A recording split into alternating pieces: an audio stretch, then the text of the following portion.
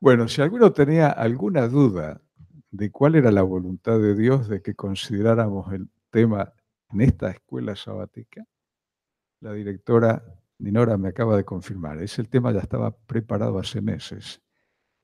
Y ese es el tema que el doctor Gerardo Toledo nos va a presentar acerca de la necesidad de perdonar. Eh, algo que no dije anoche fue de que eh, conocí al doctor Gerardo Toledo en Soquel. Es bueno ir a Soquel porque hay uno tiene la bendición de conocer a mucha gente que pertenece a la familia de Dios.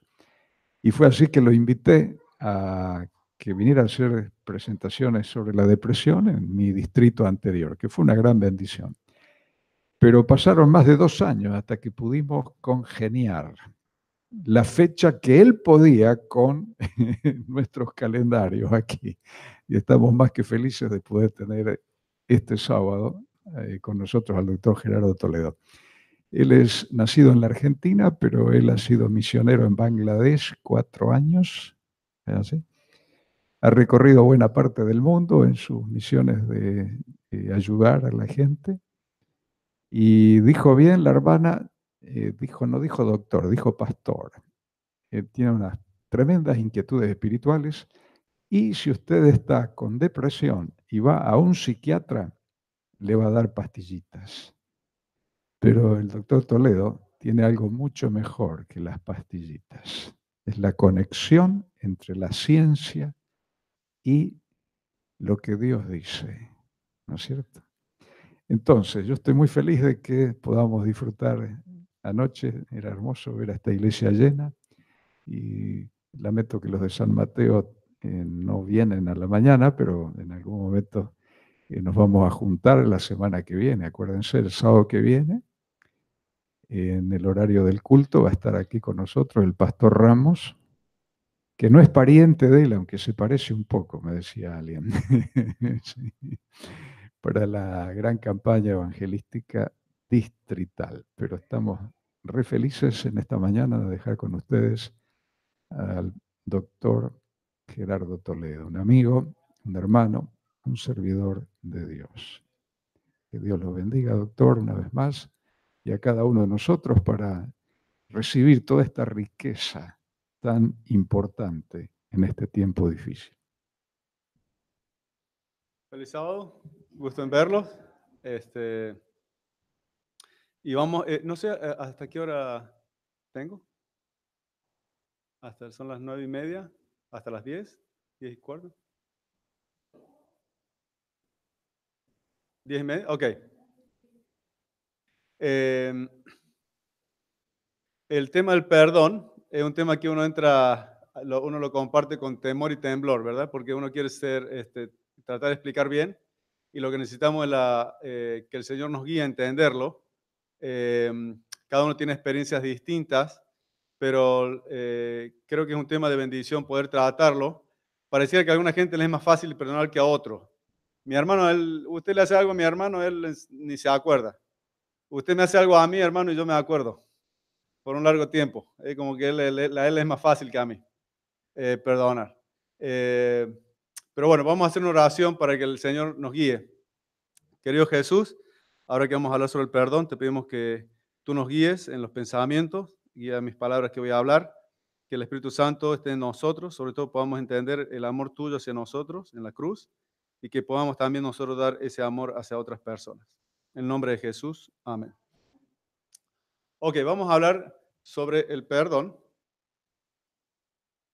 Eh, un par de definiciones. Eh, no me está funcionando. Está prendido. Ahora sí. Alguien dijo, el perdón es asumir las consecuencias de la maldad de otros y dejar ir al malhechor libre, lo cual no pareciera justo, ¿verdad? El perdón es la dulce fragancia que proporciona una flor cuando alguien la pisa y la rompe. A todos nos gusta, ¿verdad? El olor de la flor, pero la flor de repente tuvo que ser rota para, poder sentir ese, ese olor. Entonces vamos a ver, antes de hablar qué es el perdón, vamos a hablar lo que el perdón no es. Hay algunos mitos sobre el perdón. Uno de los mitos es que el perdón ocurre cuando la persona se disculpa de su error.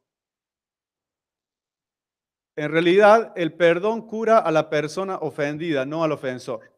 La hermana Juárez dice que nosotros debiéramos perdonar aun si la otra persona no se disculpa.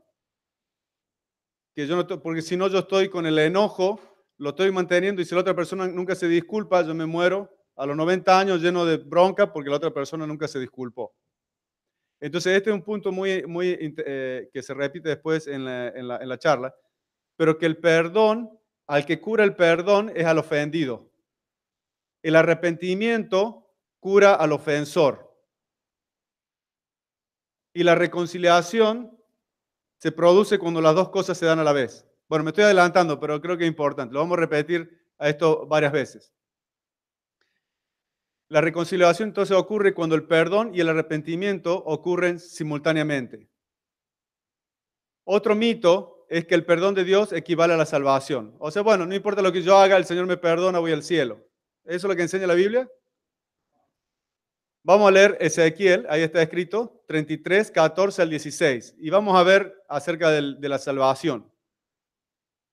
Y dice, Dios está hablando, cuando yo dijere al impío, de cierto morirás, si él se convirtiere de su pecado e hiciere según el derecho y la justicia si el, impío restituyere la prenda, devolviere lo que hubiere robado y caminare en los estatutos de la vida, no haciendo iniquidad, vivirá ciertamente y no morirá. No se le recordará ninguno de sus pecados que había cometido. Hizo según el derecho y la justicia, vivirá ciertamente. Fijémonos acá que el, el impío está, Dios dice, vas a morir, has pecado, has hecho algo. Pero dice, si él restituye la prenda y cambia su forma de ser, ¿verdad? Ese es el arrepentimiento. Arrepentimiento es que si yo voy para allá, me arrepiento, ahora voy para allá. Es ir en sentido contrario. Entonces, el, Señor espera que, nosotros cambiemos nuestra dirección. Al, al, perdonarnos, si yo robo, el Señor dice, bueno, yo te perdono lo que has robado, pero tú tienes que devolverle al hermano lo que le robaste y ya no tienes que robar más. ¿Verdad? Y entonces, eh, ahí el, Señor, claro que es un proceso, nosotros estamos en, la vida, el proceso de crecimiento, podemos caer. Y ya vamos a ver, eh, porque cuando uno habla del perdón, siempre viene a la mente qué pasa acerca del abuso, cuando hay abuso. Y ya vamos a llegar a ese tema, ¿ok? Así vamos a ir eh, de a poco. Em,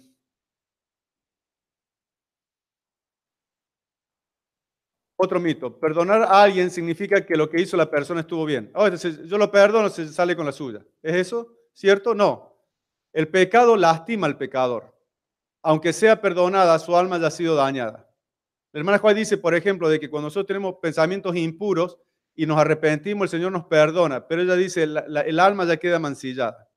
El problema es que nosotros no entendemos que el pecado es malo.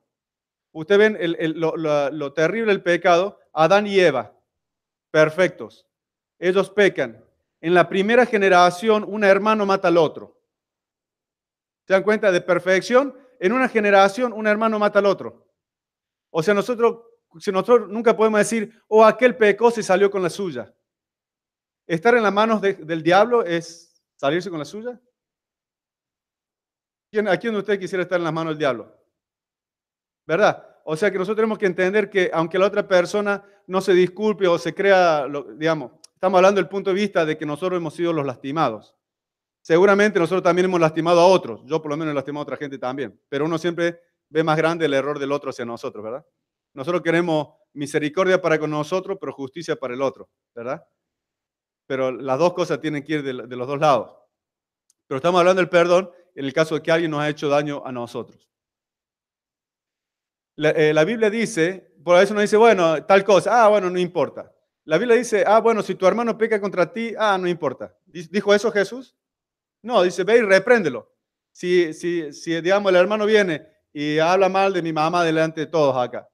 La Biblia no dice, ah, perdónalo. Y yo digo, ah, bueno, hermano. No, mire, hermano, yo tengo que hablar con usted. No hace falta yo que me ponga con el micrófono ante todo, pero a mí me pareció que lo que usted dijo acerca de mi mamá no es correcto, que usted lo diga en público, me lo podría dicho a mí o a ella, ¿se entiende?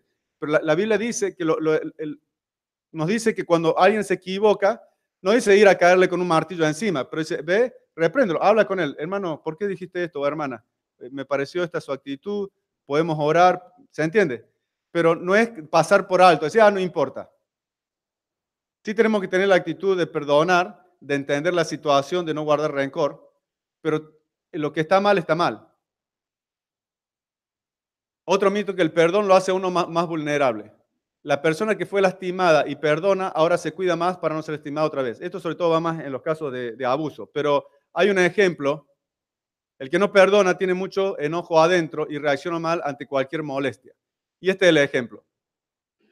Digamos que mañana hay mucho sol acá y yo digo, bueno, voy a ir a la playa. Y voy a la playa y estoy todo el día, no me pongo bronceador y me quemo. Estoy todo colorado la noche. Al día siguiente, el lunes, cuando yo voy a, trabajar, no dejo que nadie me toque, nadie se me acerque porque me duele, ¿verdad? Entonces, si nosotros no perdonamos, muchas personas empiezan a aislarse, porque ¿para qué voy a la iglesia si ya una vez me acuerdo que me trataron mal, no vuelvo más? Y una persona se empieza a aislar porque todavía estamos con, las, con, las, con la carne tierna, todavía del dolorida, ¿verdad? Entonces, cuando nosotros perdonamos, eso nos ayuda así a cuidarnos. Digamos, si yo mañana me quemo con el sol, la próxima semana que voy a la playa, yo seguramente me llevo el bronceador y me pongo. He aprendido la lección. Y de repente sí uno tiene que cuidarse, sobre todo cuando hay situaciones de, ¿verdad? de, abuso, pero al, perdonar nosotros todavía podemos seguir compartiendo con la gente sin estar tan sensitivos. ¿Se entiende? El perdón significa que la confianza sea restaurado. El hermano me hace algo a mí y yo digo, ah, bueno, yo lo perdoné y le, confío completamente. Bueno, la confianza depende de la reacción del ofensor. Si él viene y me, devuelve lo que me robó, por decirme. Pobre hermano, lo estoy agarrando acá porque está cerca, lo agarro de ejemplo. O alguna situación, él se disculpa y yo veo que él tiene toda la actitud, entonces se restaura. La, pero si él se hace el distraído y no me devuelve lo, que me sacó, o no se disculpa de lo que dijo delante de todos, cuando él sabe de que yo escuché, entonces yo no puedo restaurar eh, esa relación. El perdón cambia la actitud del corazón de la víctima, no del ofensor. Si yo soy el, que ha sido lastimado, el perdón me beneficia a mí. Para yo, porque a veces uno anda pensando, oh, me acuerdo el hermano tal cosa.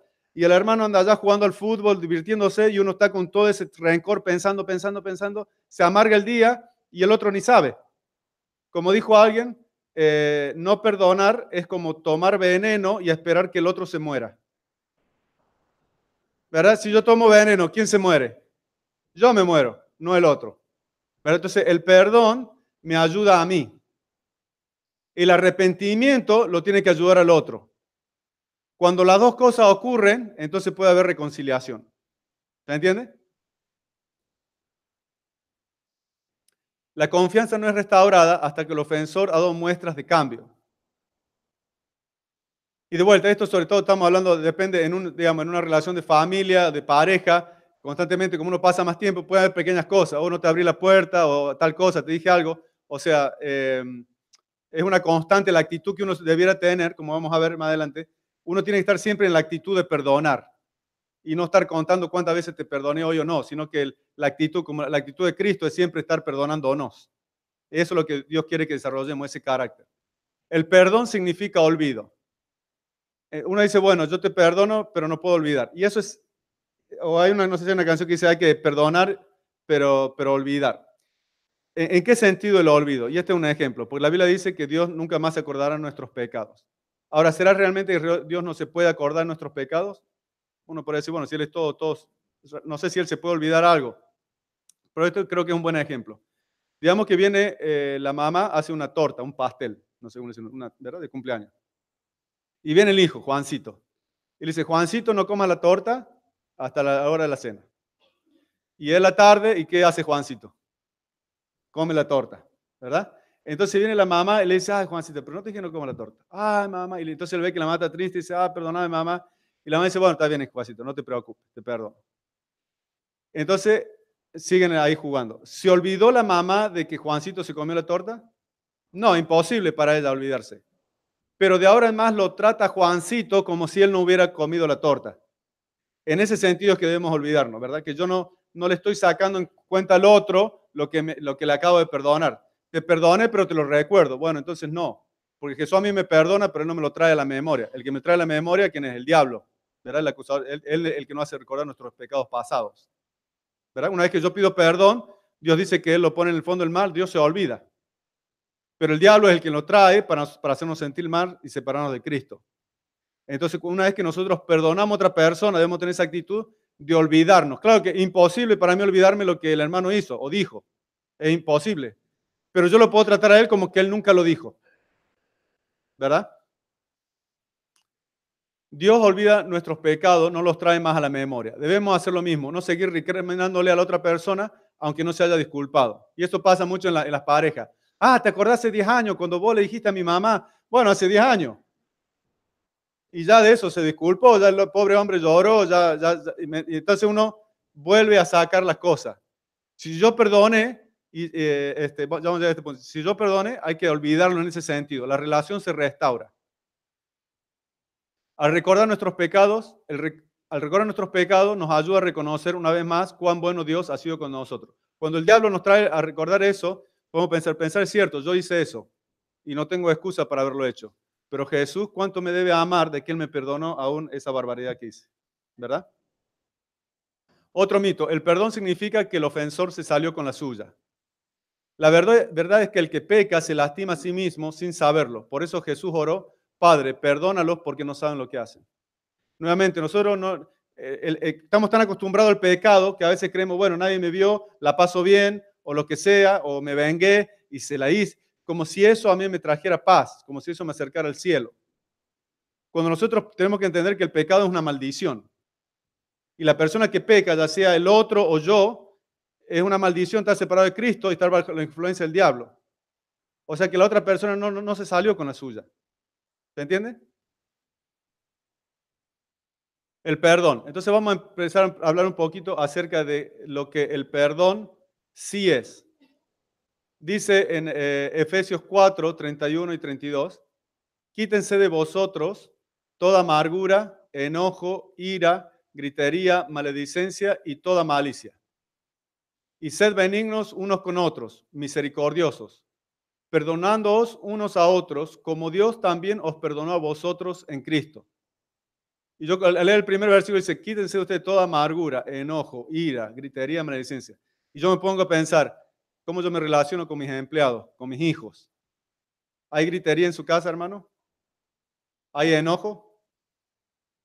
¿Verdad? Así decía un pastor. Lo más fácil, hermano, lo más fácil es guardar el sábado, ser vegano y ayudar a la gente pobre. Eh, hasta los ateos. Lo difícil es amar al enemigo. Nosotros hacemos la vida fácil, la vida cristiana, sí, yo voy el sábado, soy vegano, ayudo a los pobres. Bueno, ¿quién no hace eso? ¿Pero amas tú a tu enemigo? Y como dice un pastor, si Dios me pide que ame al enemigo, ¿será que también me pide que ame a mi esposa? ¿Y a mi esposo y a mi hijo? ¿Y qué acerca de mi ex esposa o mi ex esposo? ¿Verdad? O sea, nosotros elegimos los versículos, hermano, nosotros elegimos los versículos más fáciles guarda el sábado, oh, qué bueno, descanso, ¿verdad? Come bien, eh, se ve, eh, no, come vegetal, está bien, está bueno eso, vivo más años, pero los versículos duros los pasamos rapidito, ¿verdad? Entonces dice aquí, perdonándoos unos a otros, como Dios también os perdonó en Cristo. Entonces acá nos da un ejemplo. Vos tengo que, yo tengo que perdonarlo a Él como Cristo me perdonó a mí. Entonces vamos a ver cómo es que Cristo nos perdonó a nosotros.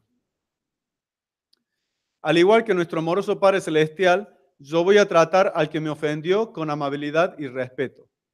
No dice Mateo, pero yo os digo, amad a vuestros enemigos, bendecid a los que os maldicen, haced bien a los que os aborrecen y orad por aquellos que os ultrajan y persiguen, para que seáis hijo de vuestro Padre que está en los cielos, que hace salir su sol sobre malos y buenos y que hace llover sobre justos e injustos.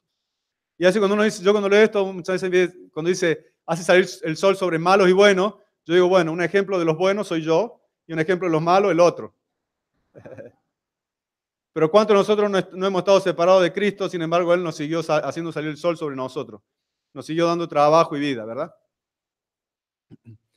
Al igual que nuestro amoroso Padre Celestial, yo voy a tratar al que me ofendió con amabilidad y respeto.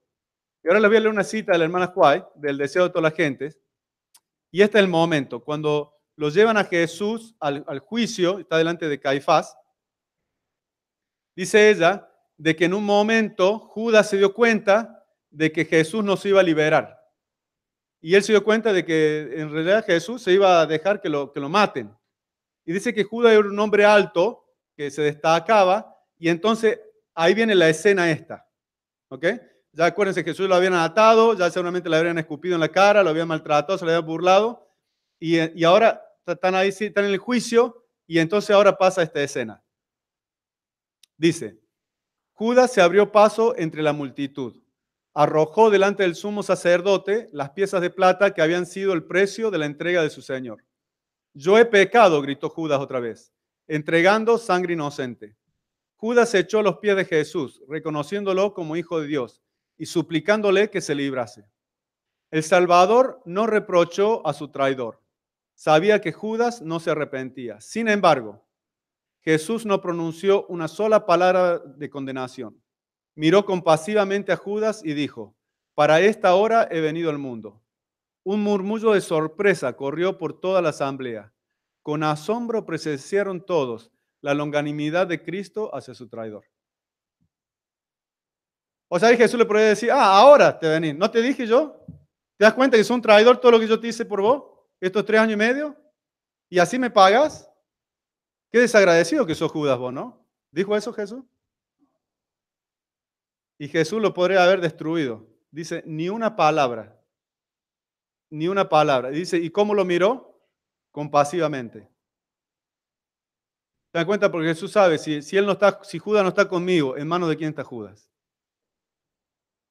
Y, aquí, y, y uno puede desear que otra persona esté en la mano del diablo. ¿Qué hacemos en una relación abusiva? Dice Jesús, he aquí yo os envío como ovejas en medio de lobos, sed pues prudentes o sabios como serpientes y mansos como palomas.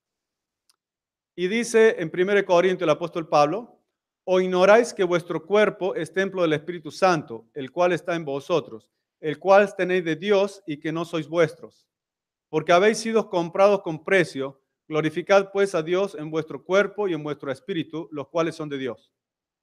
Este versículo se usa mucho por respecto a la dieta, ¿verdad? Que si mi espíritu es el templo del Espíritu Santo, entonces yo tengo que comer bien, lo cual es cierto, para mantenerme sano.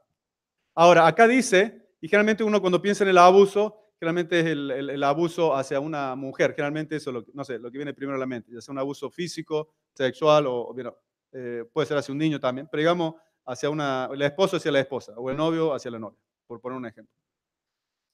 Si la novia, de acuerdo a este versículo, el cuerpo y el espíritu de esa mujer, ¿a quién le pertenece? A Dios.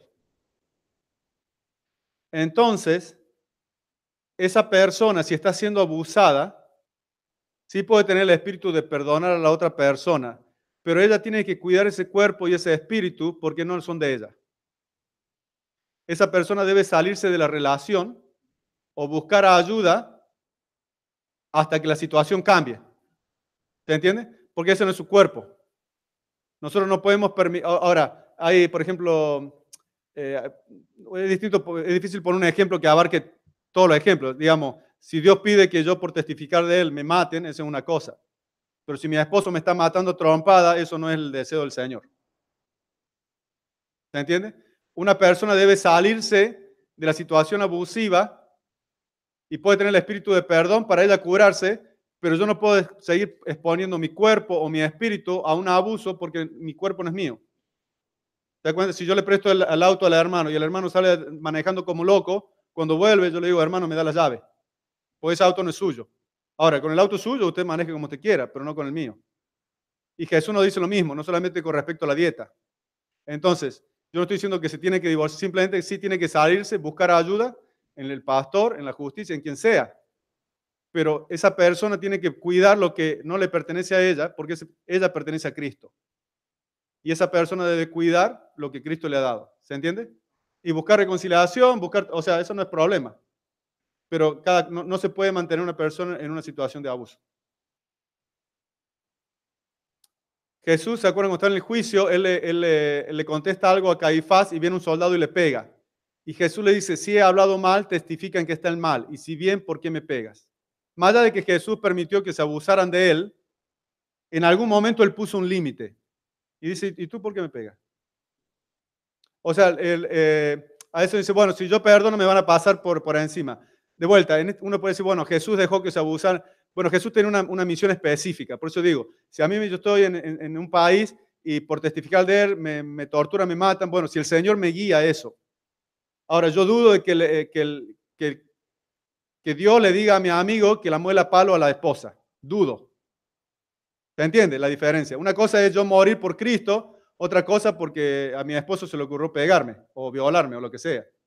¿Se entiende la diferencia? O sea, eh, no podemos hacer de un, porque Jesús lo, se dejó como oveja al matadero, yo también voy como oveja al matadero. Bueno, pero ¿cuál es el propósito de él y cómo va a servir que vos vayas como oveja al matadero a la salvación de otras personas? ¿Se entiende? Ok, ¿por qué perdonar? Dice, amad a vuestros enemigos, bendecid a los que os maldicen, haced bien a los que os aborrecen y orad por los que os ultrajan y os persiguen, para que seáis hijos de vuestro Padre que está en los cielos y que hace salir su sol sobre malos y buenos y que hace llover sobre justos e injustos. ¿Para qué? Para que nosotros seamos como nuestro Padre. Dice la hermana Juárez, cuando el carácter de Cristo sea perfectamente reproducido en su pueblo, entonces Él vendrá a reclamarlos como suyos. O sea, no solamente la predicación del Evangelio es lo que Dios está esperando para Él venir, sino también que su carácter sea representado en nosotros. Y el carácter de Cristo y del Padre siempre fue el de perdonar. E, esa siempre tuvo la, disponibilidad de Él, es de perdonar. Y entonces Dios dice, ¿tú quieres saber lo que se siente ser Dios? Perdona, ama a tu enemigo. ¿No dice eh, Romanos 5.8? Y esto muestra Dios su amor en que siendo nosotros aún pecadores, Cristo murió por nosotros. Cristo no murió por nosotros cuando estábamos de traje en la iglesia. Cristo murió por nosotros cuando estábamos pecando, de repente abusando o haciendo cosas indebidas con alguna de sus hijas o de sus hijos. Eso es amor, ¿verdad? Entonces, Dios quiere que nosotros entendamos cómo es Él. Nosotros queremos el poder, la hermana dice sobre el diablo también, sobre Lucifer el Lucifer quería el poder de Dios, pero no su carácter. Y nosotros también quisiéramos, ¿verdad? Yo quisiéramos tener el poder para vengarme o por lo que sea, pero no quiero tener el carácter de Jesús de amar, como lo trató a Judas. Mirar compasivamente al que me acaba de traicionar y no decirle ni siquiera una palabra de reproche. ¿Verdad? Cuando el carácter de Cristo sea perfectamente reproducido en su pueblo, entonces vendrá Él a guardarlos, a buscarlos, a reclamarlos como suyos. El perdonar es una decisión mental que va más allá de los sentimientos. ¿Quién es el que susurra los pensamientos de odio en nuestras mentes? Eso es otro, otro, punto para pensar. ¿Jesús o el diablo? Digamos, si yo estoy un día pensando, uh, el hermano, esto el, chisme que contó sobre, sobre mi mamá, y yo estoy trabajando con mis pacientes y estoy pensando, este, qué desgracia el hermano, esto, ¿cómo es? ¿Ustedes se lo imaginan a Jesús en mi oído diciéndome, Gerardo, ¿te acordás de lo que te dijo el hermano ese? Mira, ¿se lo imaginan usted a Jesús diciendo eso? ¿Quién puede ser? Si no es Jesús, ¿quién es el otro? Entonces tenemos que, eh, estamos hablando sobre la depresión y demás, ahora sobre el perdón. ¿Quién me trae estos pensamientos? Como íbamos a ver en el, sermón, eh, Filipenses 4, 8, ¿verdad? Todo lo que es puro, lo bueno, lo justo, en esto pensar. Entonces yo tener estos pensamientos de bronca contra el hermano, ¿puede ser Jesús? No, ¿verdad? Entonces, si no es Él, yo puedo empezar a orar, Señor, mira, tú sabes los pensamientos que el diablo me está susurrando, de odio, pero tú me, has, pedido que yo lo perdone. Esa es mi intención, Señor, perdona. Y ya está, Filipenses 4.8. Todo lo bueno, todo lo justo, todo lo de buen nombre, en esto pensar. Otro ejemplo. Em, dice, el Señor Jesús, la noche que fue entregado, tomó pan y habiendo dado gracias, lo partió.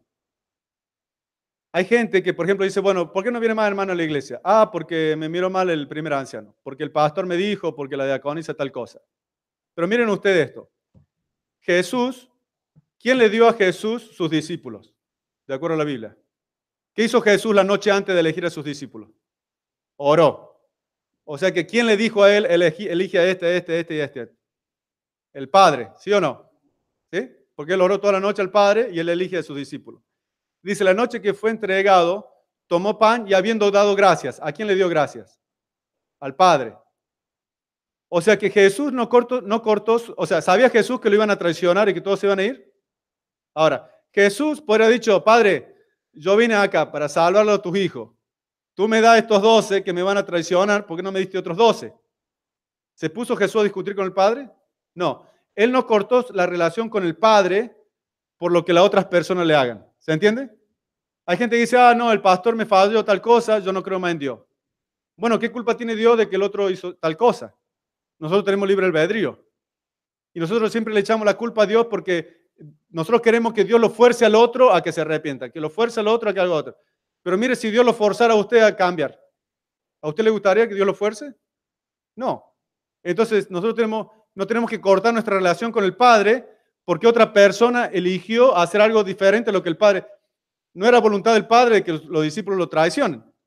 Él le dio libre albedrío, que lo sigan a Jesús o que no. ¿Se entiende el, punto? Jesús dice, Señor, Padre, tú eres mi Padre, yo me sigo la... Ahora, que lo que vos me hayas dado, que la esposa por la que yo oré, la esposa que tú me, que, tú me di, que yo oré y que tengo, eh, tal cosa, lo que sea, no quiere decir yo voy a cortar mi relación contigo. Que mi esposa, mi esposo, mi hijo decida hacer o no hacer esto, no tiene nada que ver contigo. ¿Se entiende?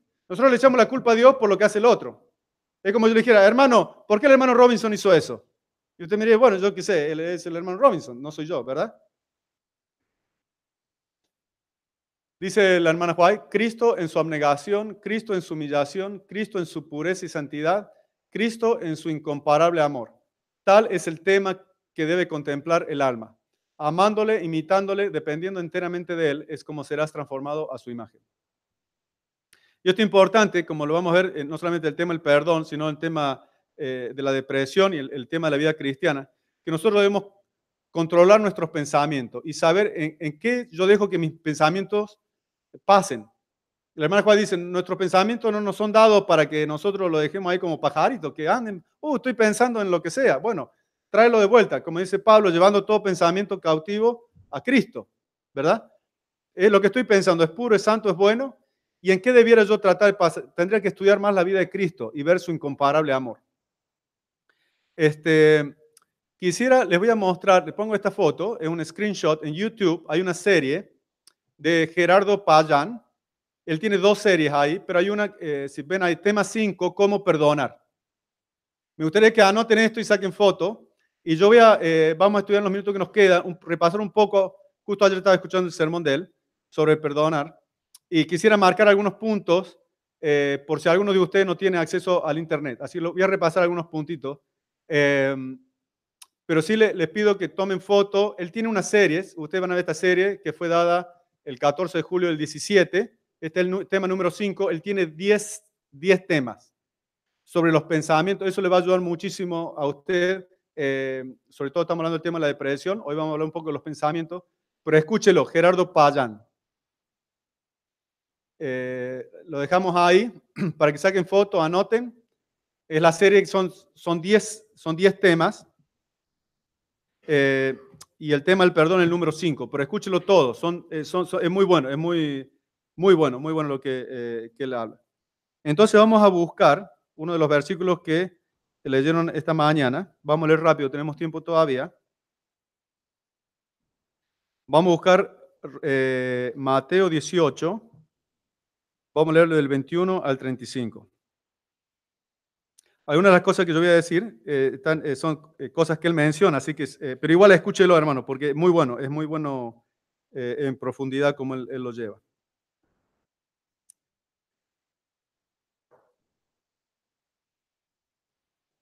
Ok. Mateos 18, 21 en adelante. Se le acercó Pedro y le dijo, Señor, ¿cuántas veces perdonaré a mi hermano que peque contra mí? ¿Hasta siete? Jesús le dijo, no te digo hasta siete, sino aún hasta setenta veces siete. Se dice que se cree que en aquellas épocas los, fariseos además decían que había que perdonar hasta tres veces a la persona. Entonces Pedro viene y dice, bueno, pues yo soy adventista el séptimo día, vegano, como mínimo perdono siete, ¿verdad? Va a Jesús y dice, mira, yo Pedro, ¿qué tal tu discípulo? Eh? Siete veces, Señor. Y Jesús le dice, no, no siete veces, Pedro, hasta setenta veces siete. O sea, bueno, uno puede decir, bueno, entonces tengo que empezar a contar 490 veces. No, la idea es de que nuestra actitud tiene que estar siempre la de perdonar, que es la actitud que Dios tuvo, ¿verdad? Hasta el ladrón en la cruz. El ladrón en la cruz, eh, una persona que vive en el, en, el mal. Posiblemente eh, podemos pensar que que él era inmoral, ¿sí o no? Posiblemente una persona que es ladrona, que a tal punto que lo llevan a María la cruz, posiblemente era una, era un inmoral. Posiblemente se acostaba con prostituta. ¿Qué sabemos si se acostó con María Magdalena? Y a pesar de eso Jesús lo perdona. El punto es que Dios siempre está dispuesto a perdonar hasta el último momento. Más allá del dolor o, que Jesús no haya estado de acuerdo con lo que el otro hizo. ¿Se entiende? Nosotros debemos tener ese carácter, esa actitud siempre de poder perdonar. Entonces, sigue diciendo, entonces Jesús cuenta esta parábola que es conocida, pero vamos a leerla. Dice, por lo cual el reino de los cielos es semejante a un rey que quiso hacer cuentas con sus siervos. Y comenzando a hacer cuentas, le fue presentado uno que le debía diez mil talentos. A este, como no pudo pagar, ordenó su señor venderle, y a su mujer e hijos y todo lo que tenía para que se le pagase la deuda. Entonces aquel siervo postrado le suplicaba diciendo, Señor, ten paciencia conmigo y te lo pagaré todo. El señor de aquel siervo, movido a misericordia, le soltó y le perdonó la deuda. Aquí tenemos un rey que representa al padre y viene un siervo y le dice, le dé 10 mil talentos. 10 mil talentos dice que un talento equivalía a 6 mil denarios. Un denario es el trabajo de un día. 6 mil denarios son 6 mil días. Sacando la cuenta, si una persona vive 80 años y trabajara 360 días por año, por, 360 eh, días sí, por año, este hombre le debía más de 2.000 vidas. Esa es la deuda que, este hombre había al, rey. Y él viene y le dice, yo te, lo pagaré todo. Y a veces nosotros también le decimos, oh Señor, está bien, sabes que ahora sí yo voy a darle al pobre, a yo al otro, como si nosotros pudiéramos pagar con nuestras obras nuestro pecado. Y obviamente nosotros no podemos pagarlo, es la misericordia de Dios. Y él dice, que teniendo, Dios tuvo misericordia del hombre y dice, te lo perdono todo. ¿Verdad? Entonces sigue diciendo, pero saliendo aquel siervo, halló a uno de sus consiervos que le debía 100 denarios. O sea, en vez de 80 vidas, le debía el trabajo de 100 días. Y haciendo de él, le ahogaba diciéndole, págame lo que me debes. Entonces su consiervo, postrándose a sus pies, le rogaba diciendo, ten paciencia conmigo y yo te lo pagaré todo. Mas él no quiso, sino fue y le echó en la cárcel hasta que pagase la deuda. El hombre este, y de vuelta, acá está la cuestión de los pensamientos, ¿dónde están nuestros pensamientos? El hombre este, digamos, soy yo, ¿verdad? Señor, por favor, te, lo pagaré todo. Y Dios dice, Gerardo, ¿qué vas a pagar vos con tus pobres obras? ¿Sabes qué, Gerardo? Yo te perdono. Mando a mi hijo que muera por ti, acepta su perdón y yo en vez de estar pensando en el amor, pensar que 80 vidas me perdonó Jesús. Yo, imagínense que usted le perdone 80 vidas de trabajo. Y uno que sale de la cárcel, uno, estaría, uno sale como cuando uno sale de un examen y aprueba, ¿verdad? Una felicidad, una así. Pero en vez de estar pensando en el tremendo regalo de Dios, me cruzo con el hermano, que el otro día yo le di una pastilla y él me dice, sí, hermano, después se la devuelvo. Y digo, ¿y la pastilla? ¿Se da cuenta la, diferencia? Pero el punto es que esta persona, en vez de estar disfrutando y pensando y meditando y haciendo carne propia, el amor de Cristo, que aunque yo le causé una pérdida de 80 vidas, ah, por más que sean monetarias, digamos un billón de dólares, y cuando usted y yo vamos a hacer un billón de dólares, ni en 80 vidas, y si pensás que esta persona, es toda esa pérdida, como la historia del, del padre y el hijo pródigo, cuando el hijo pródigo vuelve, él se llevó la mitad de la hacienda, ¿Cuánto trabajo, cuántas veces se tuvo que levantar temprano el padre para trabajar, hacer negocio, ordeñar las vacas, vender, ir, venir? Ustedes trabajan igual que yo. El trabajo es justamente eso, trabajo y esfuerzo y, renegar y que sí, todo eso. Y este loco va y se la gasta.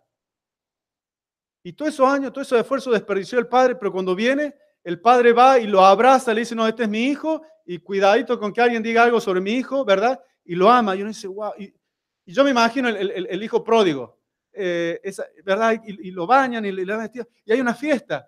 Y yo imagino qué vergüenza ir a la fiesta, porque todos los hermanos, todos saben lo que yo he hecho, pero llega ahí, y acá viene, todos celebran. Y yo después me pensé, el hijo, ¿pero qué habrá hecho el hijo pródigo el día siguiente? Se terminó la fiesta, vamos a dormir. Y yo, la mejor dice que nosotros deberíamos imaginarnos, así yo me imagino. Seguramente antes, antes de, irse a, a su vida de locura, Él decía, uh, mañana me tengo que levantar a cinco ordeñas con mi papá. Pero ¿por qué no? Si tiene siervo, ¿para qué me levanta a mí? Yo soy el hijo. Pero yo me imagino que él le habrá preguntado a, su siervo, ¿y, qué hace mi papá estos días? ¿No se levanta todavía a las Ah, bueno. Yo me imagino, él, no sé, después de recibir tanto amor, que el hijo pro se habrá levantado temprano y papá, mira, acá está el desastre. No sé, él lo habrá servido, porque después de recibir tanto amor, ¿qué, otra, qué otra cosa puede hacer uno? Usted imagínese que usted hace semejante desbarate, como dice el hijo pródigo, y cuando vuelve le hacen una fiesta. Yo imagino que ese hijo lo sirvió al padre con amor.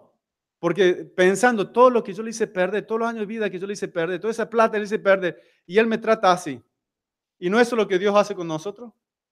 ¿Cuánto nosotros, cuánto ustedes han lastimado a gente? ¿Cuánto?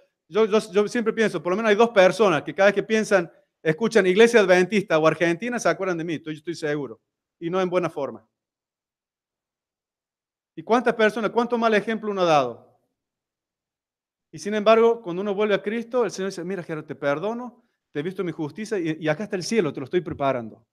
Cuando uno, si uno pensara más en eso, en el amor de Cristo, uno le sacaría un poquito, ¿verdad? Tan, tan quisquilloso que uno ay, que me miraste, que no me miraste, que no me hiciste, que sí me hiciste la sopa, que... Uno andamos, hermano, con cositas. Con el Señor Jesús dejó el cielo para arriesgar su vida eterna para venir a morir por nosotros. ustedes saben, dice la hermana Juárez, de que él dice, no, no veía a través de la, más allá de la tumba. Jesús pensaba, bueno, acá me quedo. Él no sabía que le iba a resucitar, porque estaba separado de la presencia del Padre. Usted lee el, el deseo de la gente, eso es lo que el hermano Juárez dice. Él pensaba, bueno, acá yo me quedo. Este Caifás, si él acepta el perdón, vaya al cielo, el ladrón en la cruz del cielo, va a estar con mi papá. Y bueno, me pierdo para siempre, nunca más lo veo a mi padre. Esa era la muerte que Jesús sufrió. Y este hombre, después que se le perdona la pérdida que él causó, que es una barbaridad, imagínense la pérdida de 80 vidas de trabajo, por más que sea a, sueldo mínimo. Este sale y entonces dice, pero saliendo allá uno de sus consiervos que le debía 100 denarios y haciendo, haciendo desde él, le ahogaba diciendo, págame lo que me debes. Entonces su consiervo postrándose le rogaba diciendo, ten paciencia conmigo y te lo pagaré. La cuestión es que así como nosotros no podemos pagar a Cristo por, su, por, lo, que él, por, por lo que Él hizo por nosotros, la persona que no hizo el daño de repente tampoco lo puede reparar. Y nosotros estamos pidiendo a otro algo que nosotros tampoco podemos hacer. Digamos que, no sé qué ejemplo poner, quiero ser cuidadoso. Digamos que una persona es abusada o, o engañada. No, no, no, no sé qué ejemplo. ¿Puede esa persona quitarme el dolor? No, el daño ya está hecho. Nosotros a veces le pedimos a la gente que haga algo que no puede, aunque quiera. Y lo importante es que nosotros no dejemos de mirar lo que Cristo nos ha perdonado a nosotros. Para que entonces nosotros podamos decir, ¿qué es lo que sigamos leyendo? ¿Qué es lo que Jesús y la, la aplicación que él hace? Versículo 31. Viendo sus consiervos lo que pasaba, se entristecieron mucho y fueron refiriéndole, refirieron a su señor todo lo que había pasado. Entonces llamándole su señor le dijo, siervo malvado, toda aquella deuda te perdoné porque me rogaste. ¿No debías tú también tener misericordia de tu consiervo como yo tuve misericordia de ti? Entonces su señor, enojado, le entregó a los verdugos hasta que pagase todo lo que debía. Así también mi Padre Celestial hará con vosotros si no perdonáis de todo corazón cada uno a sus hermanos sus ofensas. Comparado con lo que Jesús nos ha perdonado a nosotros, la ofensa, claro, yo, no quiero minimizar. Una cosa es que, que, mi, hijo me grite, me falte respeto, otra cosa es una, tal vez una persona que ha sido abusada. O sea, no, no, quiero minimizar el daño que alguno, tal vez inclusive alguno de acá puede haber sufrido. No sé si me explico. o sea, no todos los, todos los pecados son pecados, pero la hermana Juan dice que Dios, al igual que nosotros, ve los pecados cada uno en su magnitud. O sea, eh, por eso hablar del tema del perdón es un tema que uno, uno lo hace con temor y temblor. No, no, no quiero tomar liviano tal vez la experiencia de alguno de ustedes o de alguien que ustedes conozcan. Pero sin embargo, el Señor nos dice que debemos perdonar a esa persona. El perdón nos va a curar a nosotros. Pero como dijimos en el caso de abuso, si hay un caso de abuso, de violencia continua, debemos salirnos de esa situación. Otro punto es lo siguiente, ¿por qué Dios ama a aquel que me hizo tanto daño? Yo le voy a poner un ejemplo. Es un ejemplo normal, pero que el Señor en su misericordia no permita que pase. Yo tengo dos hijos. Mi hijo tiene casi 15, mi hija tiene 12. Digamos, en el, peor de los casos, que mi hijo se vuelve loco y él abusa de su hermana, la mata y la parte en pedazos. ¿Me dolería a mí? ¿Dejaría yo de amar a mi hijo? Por más que mi hijo esté en la cárcel, por el resto de su vida, es imposible para mí dejar de amar a mi hijo. Bueno, no digo imposible porque mi corazón es malo, pero no sé si se entiende lo que son padres. Usted piensa, hay algo que usted pueda que su hijo pueda hacer. Usted, yo estaría triste, avergonzado, con bronca, no entender, o sea, todo eso, sí, todo ese dolor de que cómo hiciste semejante barbaridad con tu hermana. Y, el dolor de perder a mi hija, ¿se entiende? Yo no estoy minimizando ese dolor, pero yo lo podría ver a mi hijo y decir en la cárcel, ah, bueno, morite ahí. Imposible. Siendo yo que soy malo, como dice Jesús, siendo, si vosotros sois malos, pues, sabéis hacer buenas cosas con, lo, con vuestros hijos, cuanto más vuestro Padre Celestial. La persona que no, lo que pasa es que nosotros nos cuesta entender de que Jesús ama a todos por igual. En, en, en uh, Romanos 2.11 dice que Dios no hace acepción de personas. Y Él nos llama hijos a todos. Entonces, lo que nosotros nos cuesta entender de que Dios ame al que me causó tanto daño. ¿Cómo es que tú lo puedes amar? Bueno, yo lo puedo amar porque Él es mi hijo y mi hija. Así, si ustedes tienen dos hijos, si ustedes tienen dos hijos, ¿hay, hay alguno que tenga dos hijos más? ¿Hay alguno de ustedes o yo soy el único que tiene dos hijos? Ok. Si Jesús le dijera, mire, en el cielo hay lugar solo para uno de sus hijos, elija usted cuál va al cielo. El que usted elige, usted va al cielo. ¿A cuál elegiría usted? Ahora, digamos que uno de sus hijos está viviendo perdidamente y el otro es un santo, acá el santo de la iglesia. ¿A cuál de los dos usted elegiría? ¿Se da cuenta que por más sería fácil para usted elegir el santo sobre el otro y que el otro se pierda? ¿Sería fácil o no? ¿Se entiende? el Señor, el Señor cuando lo ve a nosotros dice, bueno, Gerardo, vos de santo poco tenés, pero por lo menos te pones corbata y va a la iglesia. O sea que bueno, y a lo mejor el otro, sí, el otro es una desgracia, pero el otro, Gerardo, yo, que cuando yo lo miro al otro, es que se me rompe el corazón. ¿O no? ¿Sabes que yo estoy, estaba, estuve bíblico en la, en la, una, con un amigo, estamos yendo a la iglesia, eh, a la cárcel, eh, y justo nos tocó presos que ellos han estado, eh, están presos por abuso sexual. Están en el proceso, no están condenados, pero están en el proceso por eso, están en esa... Y entonces mi amigo me decía, porque uno va y está el vidrio, y entonces uno habla por teléfono, le dan 20 minutos para hablar, como en las películas, 20 minutos uno habla. Y entonces dice, mira vos, ese qué interesante, dice, eh, yo veía y estaba la mamá del muchacho y el papá. Y le decía, ¿y, y cómo, hijo, cómo estás comiendo? ¿Y, y, y estás, estás, pasando frío? Y, dice, mira, más allá que la madre sabe, qué dolor de la madre. Imagínese usted que su hijo está en la cárcel por abuso sexual. O sea, qué, qué, qué dolor como padre. Pero la madre todavía le dice, hijo, ¿y estás comiendo? O sea, el corazón de la madre sigue siendo el corazón de la madre. Y por más barbaridad que el hijo haga, eh, la, ella sigue siendo el, niño que ella tuvo en sus brazos. Y, hijito, tienes hambre. Y uno diría, pero semejante torrante, señora, usted se preocupa. Si... Y sí, es mi hijo, ¿o no? La que son madres y lo que somos padres, ¿verdad? Jesús no puede dejar de amar. Él dice que Dios es amor. No dice que Dios ama, sino que Dios es amor. Él no sabe hacer otra cosa que amar. Él ama, ama. Bueno, pues otra, no sé hacer otra cosa. nunca me, nadie me enseñó a hacer otra cosa. Lo único que yo sé es que yo amo. Por eso Él puede perdonar a un al ladrón en la cruz en su último minuto. Se dan cuenta, Jesús no puede dejar de amar y cuando Él lo mira al que lo lastimó a usted, Él se derrite de amor por esa persona. Y dice, claro, nosotros le quisiéramos dar con todo, pero él, él, él, no es así. Por eso el Señor, yo creo que el Dios nos da hijos, o porque el Señor nos da el matrimonio, para que entendamos lo que es ser Dios. Uno dice, bueno, mi esposa, y bueno, así como Cristo amó a la iglesia, ¿cómo fue la esposa de, de la iglesia a través de los seis mil años? ¿Cómo, fue ¿Cómo fuimos nosotros como esposa para Cristo? No, que mi esposa chilla mucho. Y usted no chilla mucho con, ah, Señor, si yo te he pedido tantas veces, ¿por qué no me... Bla, bla, bla, bla, bla, bla? ¿Cómo son sus oraciones? Igual. ¿Verdad? Entonces, el Señor nos da los hijos. Dice la hermana Juárez de que Enoch, cuando él tuvo su hijo, él pudo entender el amor de Dios al pensar que Dios va a dar a su hijo. Y él amaba tanto a su hijo que dice que él pensaba en eso. Y eso fue el que lo mantuvo caminando con Dios. Dice que no pensaba, pensaba, decía, wow, así como Dios, así como yo amo a él, a este niño así como Jesús me ama. Y eso fue lo que lo transformó. Por eso será que Dios nos dio los hijos y los esposos y las esposas. Para que nosotros entendamos lo que se siente ser Dios y lo que es amar, como Dios ama. ¿Verdad? No, de vuelta, no estamos excusando lo que hizo el otro y, eh, y siempre se me vienen los casos, sobre todo de si hay abuso o algo. No es que debemos salir de esas situaciones, pero debemos que el Señor nos ayude a poder, que Él ponga en nosotros, de vuelta, vamos allá, a Jeremías 17, 9.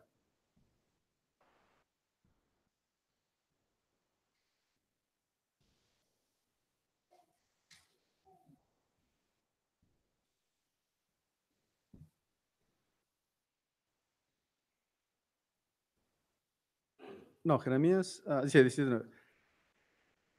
Dice, engañoso es el corazón más que todas las cosas y perverso. Perdón, ¿quién lo conocerá? Es imposible, hermano, para usted y para mí perdonar. Podemos tener la actitud. Pero dice que nuestro, de un corazón malvado, engañoso y perverso, ¿puede salir algo bueno? Por eso la Biblia, Jesús dijo, separado de mí nada podéis hacer. Yo creo que cada sermón podríamos terminar en eso. Nosotros, por eso dice el hermano Juan, que debemos cada día meditar en la vida de Cristo, sobre todo en las, escenas finales. ¿Cómo es que tú trataste bien a Judas? Póngase usted en, alguien que lo traiciona así. ¿Cómo, ¿Cómo es que tú puedes perdonar?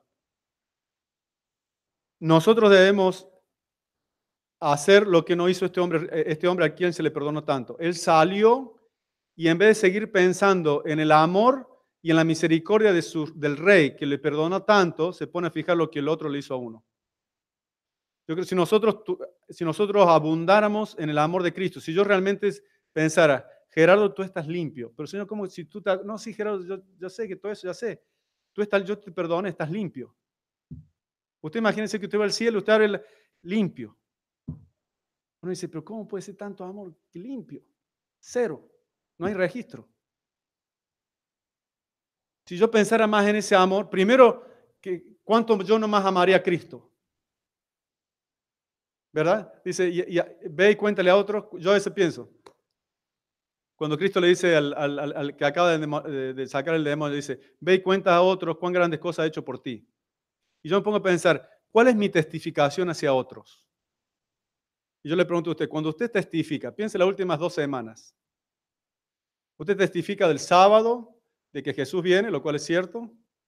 Pero ¿cuántas veces usted testifica, sabes qué, María, mira, te quiero contar, yo soy adventista, yo vos, vos te sientes perdonado, vos sabes lo que es que Jesús te perdone, vos sabes que la paz que a mí me dio que Jesús me perdone. ¿Cuándo fue la última vez que usted testificó sobre el amor de Dios hacia usted?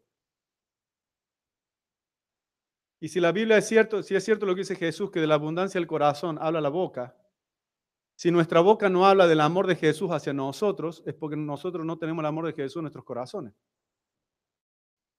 Sino que por guardar el sábado y hacer estas cosas, que, están todas bien, nos estamos tratando de ganar el amor en vez de ver de que Él nos amó antes de que nosotros hiciéramos nada bueno. Si nosotros meditáramos más en el amor de Cristo hacia nosotros, ¿cuánta, ¿a quién de ustedes no le gusta ser amados? Pero digamos, yo, soy, ahora soy, soy, soltero. Si yo salí con una chica, sí, esta noche salimos, bueno, yo sí me, arreglaría, me peinaría lo mejor que puedo, el perfume, porque uno, yo quiero que la chica me vea bien y yo trataría de ser amable, ¿verdad? Que tratar de ser algo como para que la chica... No, pero Jesús nos ama cuando estamos todos sucios, con mal aliento, con recién salido, ¿me entiendes? Y yo ¿y cómo es que tú me puedes amar así? Si nosotros meditáramos más eso, ¿cuánta más paz tendríamos? ¿Cuánto más menos ansiedad. ¿Qué me está preocupado si mañana voy a tener trabajo si el Señor murió por mí? Como, dice eh, Romanos 8, el que dio, el que no escatimó a su propio hijo. Hermano, si yo le dejo que mi hijo le dé su corazón a usted para salvar la vida, mire, si yo dejo que mi hermano, si mi hijo muera para que usted viva, usted me puede pedir el auto, me puede pedir la casa, usted o sea, una vez que yo dejo que mi hijo muera por el hermano, ¿quién me puede pedir el hermano que yo le diga no? ¿Se entiende? Nosotros meditamos más en ese amor, primero nos transformaría, porque somos eh, transformados de acuerdo a lo que contemplamos. Entonces sería mucho más fácil, poder, es la única forma en que podemos perdonar al otro. Y ese Señor, si tú me perdonaste tanto, no le voy a guardar rencor, lo voy a tratar con respeto. Ahora, no quiere decir que tiene que ser mi mejor amigo, ya vimos que, ¿verdad? Para que haya reconciliación, tiene que haber arrepentimiento más el perdón, y entonces ahí se pueden hacer las cosas. Pero sí debemos tener esa actitud, sobre todo de pensar más. Eh, la hermana Juárez dice, por eso los capítulos que le dije ayer, los repito ahora por si, si, si alguno no estuvo anoche. en el Ministerio de Curación, el capítulo 18 y los últimos cuatro capítulos de ese libro. Léalo, hermano, pues, son, muy buenos. Eh, ya estamos terminando. Y ella dice, cuando nosotros vemos las faltas en otros, debiéramos en vez de estar pensando en eso, primero ella dice que le hace más mal a uno estar pensando en la falta del otro que a la otra persona, pero dice, nosotros debemos estar pensando, bueno, si yo veo faltas en él, pero ¿qué faltas tengo yo? Primero mirarse a sí mismo. Una vez leí a alguien que decía, cuando los discípulos Jesús dijo, uno de ustedes me va a traicionar, los discípulos ¿qué preguntaron? ¿Soy yo, Señor? Dice, en la iglesia moderna diríamos, yo sé, Señor, quién es. nosotros tenemos que saber, eh, eh, hacer una introspección nosotros. Es cierto, este me lastimó y demás. Esta persona me traicionó. Señor, ¿yo te he traicionado a ti? Yo he visto, hermano, que las cosas que yo puedo contar que me han hecho a mí, yo se las he hecho al Señor. Me han robado a mí, me han mentido, le, he robado yo al Señor, le he mentido, le he sido infiel, lo he traicionado, lo he puesto segundo, eh, ah, mi hijo nunca me llama. ¿Usted cuánto hora? ¿Usted pasa días sin llamar a su padre? ¿Se da cuenta? Entonces, dice que nosotros le amamos a Él porque Él nos amó primero. Entonces, el punto es que nosotros tenemos que estudiar cuando Él me amó a mí. Una vez que eso entra en mi corazón, mi vida va a cambiar y de acuerdo a lo que contemplamos seremos transformados. Ojalá que, de vuelta, el tema del perdón eh, no sé si hay alguna pregunta, alguna duda, algún comentario. Sí, hermano.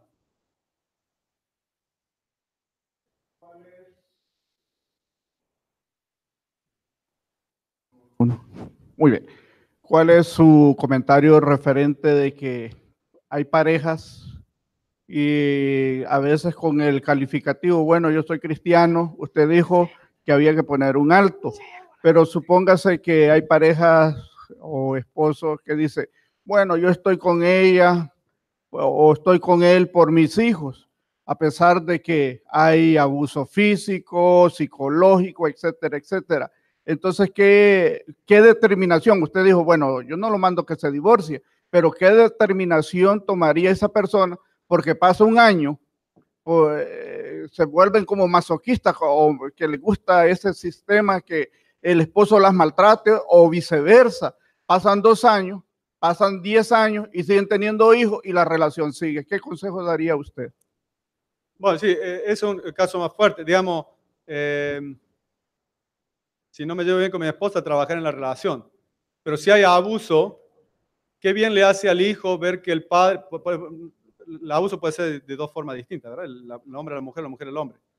Y también si hay el abuso físico, puede ser que está el nagging, ¿verdad? Está todo el día hablando, que no, sé si eso es abuso, pero es, pues, cansador. Eh, pero primero yo creo que eh, si hay algo extremo, que la persona tiene que salirse de la relación, porque eh, para los hijos esto es una relación tóxica, digamos, que el padre le está pegando a la madre, que bien le puede hacer el hijo que los padres estén juntos. Ahora, como padres, bueno, como yo le dije ayer, yo soy divorciado, así que no, soy, no soy el, experto en esto, pero uno lee y trata de aprender. Eh, de paso, hermano, si, usted está casado, no se divorcie. Pues Dios odia el divorcio. Y cuando uno, usted tiene hijos, menos se divorcia. Pero bueno, para que cada uno lo piense. Pero eh, los padres es tremenda responsabilidad de tener en nuestros hijos. Y lo que ellos ven, aprenden. La hermana cual dice, cuando hay problemas, dice, a veces cuando hay problemas, las parejas se separan. Yo le diría, no, ayuden y quédense juntos y oren y oren hasta que el Señor les cambie el corazón. A usted, no a su esposo o a su esposa, pues siempre la culpa es del otro. Bueno, cuando él cambie, yo tal cosa. No, usted cambie primero. Usted ame, a, si nosotros estudiáramos los versículos de la Biblia, pues en la Biblia está todo, ¿quién más inteligente que Dios? Y él, él nos da los consejos. Esposos, amad a vuestras esposas como Cristo amó a la iglesia y se entregó a sí mismo por ella. ¿Cómo era la esposa? ¿Era perfecta? No, era bien imperfecta. Pero la amó al punto de dar su vida por ella. Nosotros los esposos estamos dispuestos a nuestra esposa, que sí es imperfecta, física, espiritualmente, todo, a morir por ella. Bueno, es un mandato del Señor, que usted la ame así. Y esposas, respetad a vuestros esposos, como Sara respetaba a, su a- a- a Abraham y lo llamaba Señor. Usted se pasa contándole a todas las vecinas que su esposo eh, tal cosa, que su esposa... ¿Me entiende? Hay un libro muy bueno en inglés, se llama Love and Respect, amor y respeto. Porque estudiando estos versículos que acabo de mencionar, el autor dice, la mujer quiere ser amada, pero el hombre quiere ser respetado. Si usted cada cosa que hace el, esposo viene, hace algo, ¡ah! y usted se le ríe. ¿Qué respeto es eso?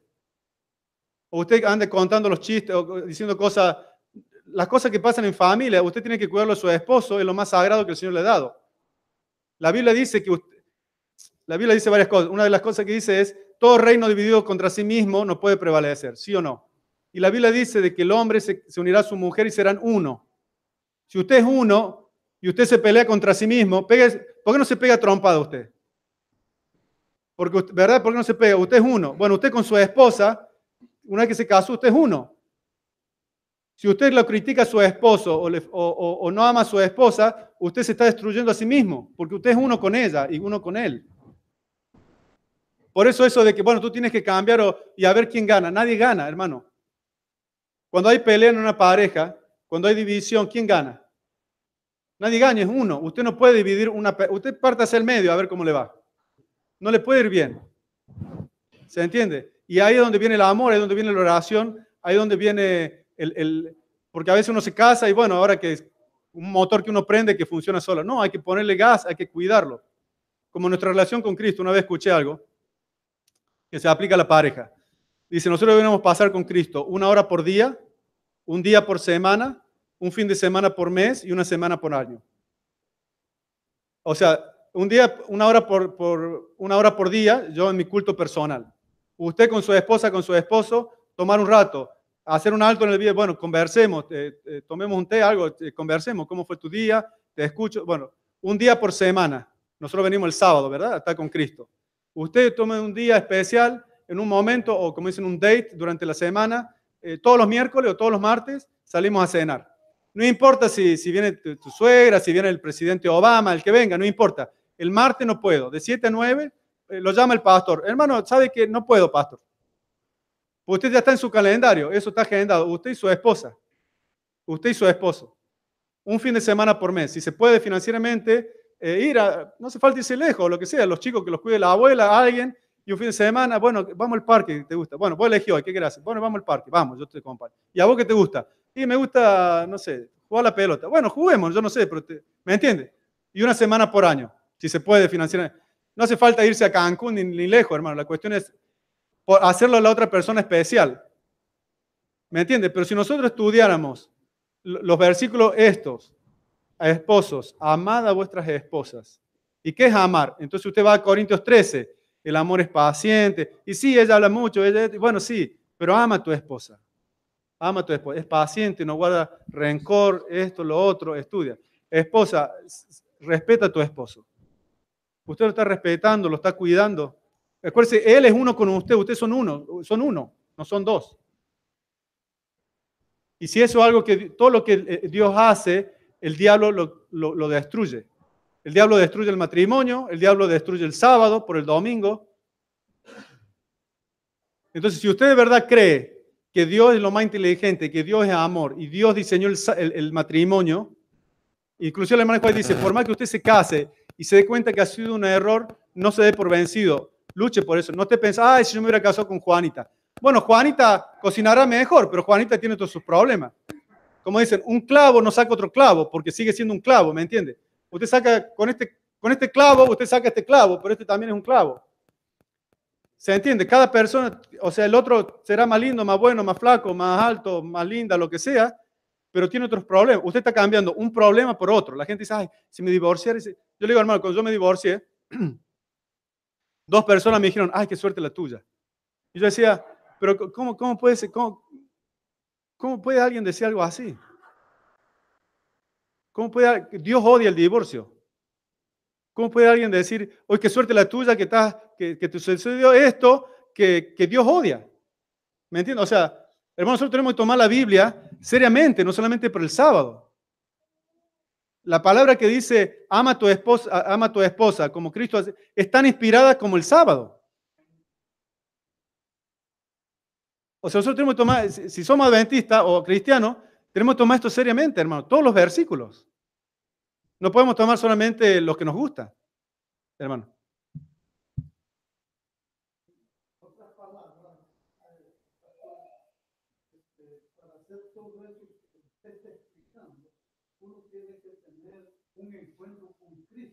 No hay otra forma.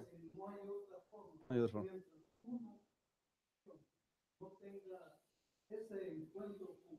como lo tuvo el apóstol Pablo, yo no voy a poder hacer nada de eso, ni voy a poder eh, cumplir con lo que Dios nos pide a cada uno.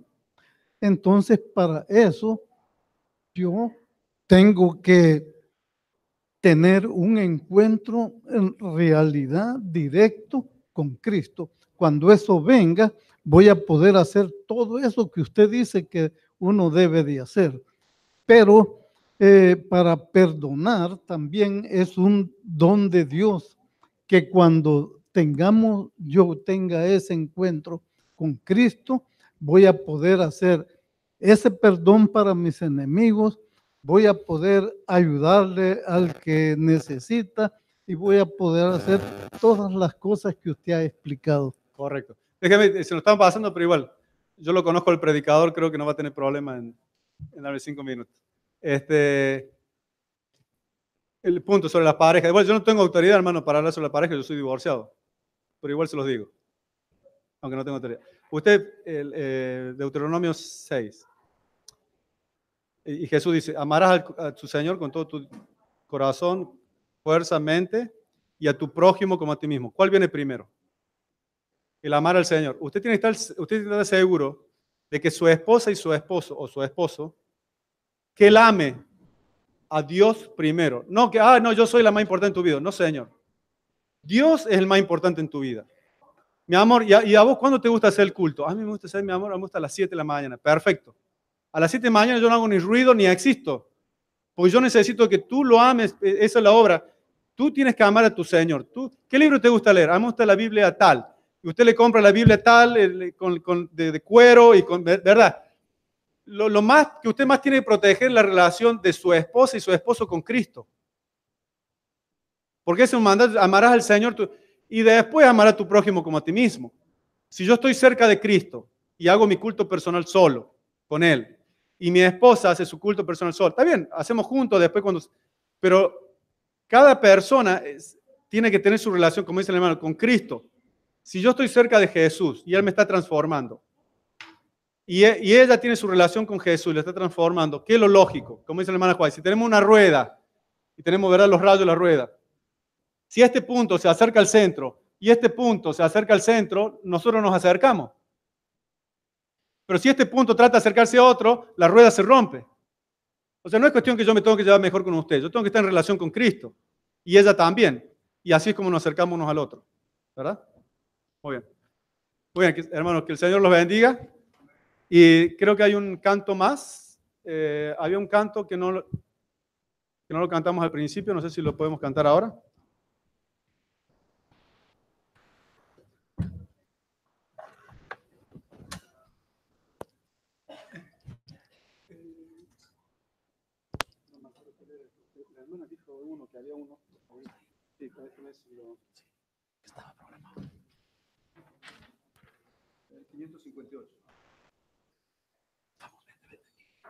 Sí. Vamos a ponernos en pie.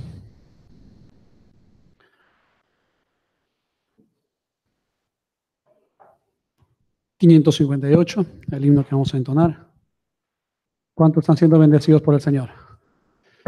Sonríe, mi hermano. Siempre me que le dé la mano. Dele la mano que está a su lado. Ama a tu prójimo, dígaselo. Ama a tu prójimo. Y muéstrale su cariño también, que usted lo ama. Cantemos. Ama a tus prójimos, piensa en sus almas. Vives la historia de Cristo el Señor. Cuida del huérfano, hazte su amigo. Cristo les Padre y fiel Salvador. ¿Qué dice la iglesia?